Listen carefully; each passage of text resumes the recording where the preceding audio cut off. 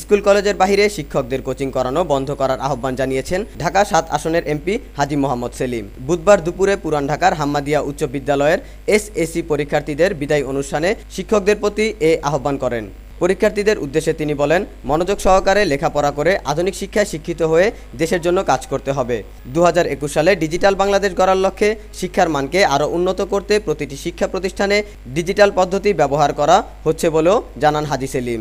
শিক্ষকদের উদ্দেশ্যে তিনি বলেন, শিক্ষা প্রতিষ্ঠানে শিক্ষকদের মাঝে কোনো প্রকার গ্রুপিং করবেন না। এতে শিক্ষার মান নষ্ট হয়ে যায়।